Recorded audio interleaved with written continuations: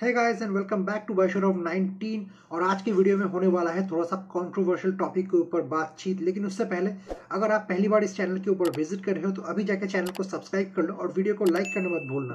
तो चलो शुरू करते हैं।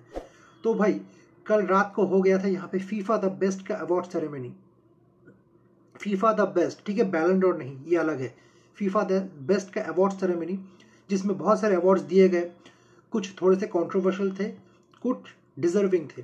तो जो वाले डिजर्विंग थे, उसमें मैं बोल दूँ भाई एंडरसन बेस्ट गोलकीपर का अवार्ड मिला है वहाँ पे। एंडरसन को द बेस्ट गोलकीपर जो कि डिजर्विंग था। बंदे ने चैंपियंस लीग जीता है प्रीमियर लीग जीता है ट्रेबल कंप्लीट किया ऑब्वियसली और ब्राज़ील के साथ भी काफ़ी अच्छा परफॉर्मेंस था। उसके बाद आ जाते हैं भाई बेस्ट कोच मैं बात करूँ जो कि डिजर्विंग वाला अभी की। पेप गॉडी वाला को मिला obviously again treble winning coach उसके बाद जो फीमेल जो बेस्ट प्लेयर है, वो मिला आइटाना बोनमाटी को, जो कि बार्सलोना का प्लेयर है, फीमेल प्लेयर, उनको मिला है ये अवार्ड लेकिन असली कंट्रोवर्सी तब शुरू होती है जब FIFA the best men's player of the year का अवार्ड दिया जाता है और वो दिया जाता है लियोनल मेसी को। जी हाँ सबसे पहले बता दूँ, जो वोटिंग हुआ था, उसके अनुसार लियोनल मेसी अर्लिंग हालैंड और किलियन एम्बापे टॉप थ्री में थे। किलियन एम्बापे ने थर्ड पोजीशन पर फिनिश किया वोटिंग के बाद और मेसी और हालैंड दोनों के पॉइंट्स टाई हो गए थे। 48 पॉइंट्स पर दोनों ही टाई हो गए थे। तो कैसे पता चलेगा कि कौन विनर होगा?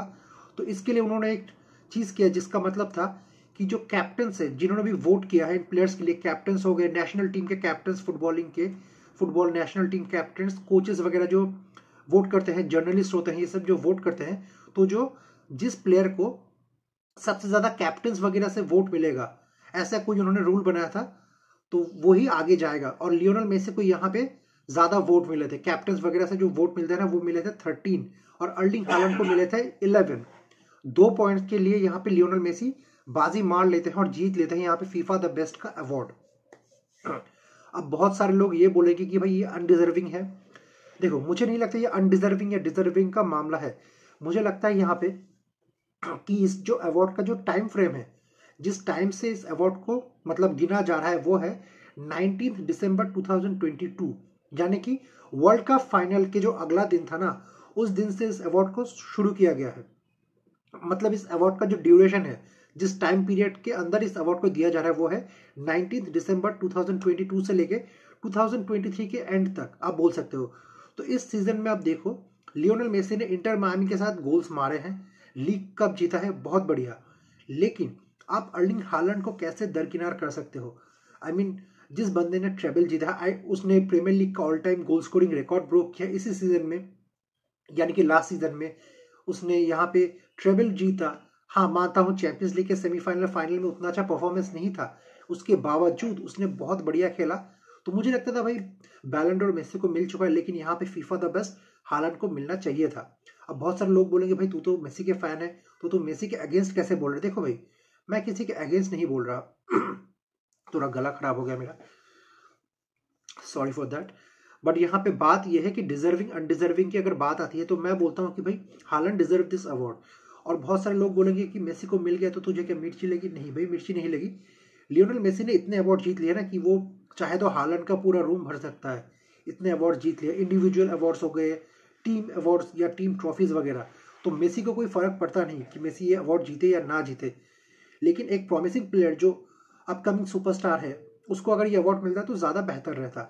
और अगर बात किया जाए, मेसी को मिला है, बहुत सारे लोग बोलेंगे, भाई पीआर बहुत अच्छा है। भाई, यहाँ पे मेसी के पीआर का या फिर एड एजेंसी वगैरह, इनका कोई लेना देना नहीं है। यहाँ पे purely on the basis of votes जहाँ पे जर्नलिस्ट ने वोट किया है टीम के फुटबॉल टीम्स के कैप्टन ने कोचेस ने वोट किया है।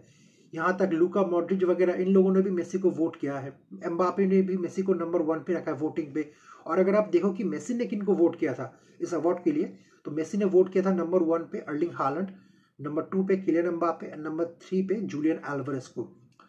तो इससे आपको पता चलता है कि मेसी कितना सेल्फलेसली यहाँ पे वोट किया अपने अगेंस्ट के राइवल के लिए। उसके बावजूद अगर मेसी जीतता है यहाँ पे on the basis of more votes from the captain club captain नहीं नेशनल टीम के कैप्टन तो इसमें भाई हम लोग कुछ नहीं कर सकते, ना मैं कुछ कर सकता हूँ, ना आप कुछ कर सकते हो। और ये जो अवार्ड्स है, इनको पर्सनली नहीं ले। बहुत सारे ऐसे अवार्ड जो रोनाल्डो जीतता था, अभी मेसी जीत रहा है, इसके बाद एम्बापे जीतेगा हालैंड जीतेगा। तो इन अवार्ड्स को ना कभी भी दिल पे मत लेना। जो टीम वाइज परफॉर्मेंस होती है, जो ट्रॉफीज होती है, उनको हमेशा पर्सनल लेना चाहिए, क्योंकि वो एक हार्ड फॉर्ड होती है। यहाँ पे क्या होता है, कौन सा जर्नलिस्ट कहाँ से कोई भी कैप्टन अपने पसंदीदा प्लेयर को वोट दे सकता है? ताकि वो प्लेयर ट्रॉफी जीत सके या फिर अवार्ड जो भी कह लो, वो जीत सके। तो यहाँ पे on the basis of favouritism भी होता है। मान लो वैंडाइक को मेसी को वोट करना था, उसने मेसी को पहले वोट कर दिया होगा तो मेसी को ज़्यादा पॉइंट मिल गए मॉडरिच को नहीं करना था, उसने सेकेंड प्लेस पे मेसी को रखा, जहाँ तक मुझे याद है तो मेसी को थोड़ा कम वोट मिला।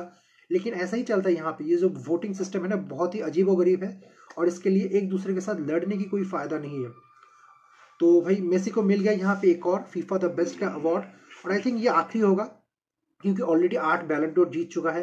फीफा द बेस्ट भी ये 2023 में जीत चुका है मेसी अब आने वाले फ्यूचर में most probably Haaland Mbappe Vinicius Vinicius को मत भूलो भाई, अभी अभी उसने हैट्रिक मारा है। बेलिंगम वगैरह ये होंगे आपके FIFA the best Ballon d'Or के लिस्ट में। तो मतलब यही था एक छोटा सा रिएक्शन इस पूरे फीफा द बेस्ट के कंट्रोवर्सी के ऊपर। और भाई अगर वीडियो अच्छा लगा तो वीडियो को लाइक करना मत भूलिएगा। चैनल को सब्सक्राइब कर लीजिएगा ऐसी और वीडियोस देखने के लिए। और मिलते हैं अगले वीडियो में बहुत जल्द, तब तक के लिए good bye and see you soon